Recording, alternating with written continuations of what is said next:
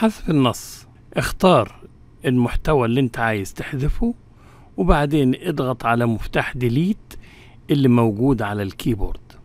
تعالوا نشوف. أجي اختار عايز اختار الكلمة أو عايز اختار الجملة control واضغط على وسط الجملة أو عايز اختار الفقرة اضغط عليها ثلاث مرات وبعدين مفتاح delete شال. أتراجع؟